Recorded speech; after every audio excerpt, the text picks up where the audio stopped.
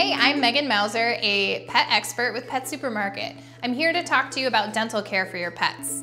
We all know how important it is for your pet's overall health, but it's important to establish a routine. We offer a variety of healthy, smell-approved products for your pet. Water additives are super easy to use.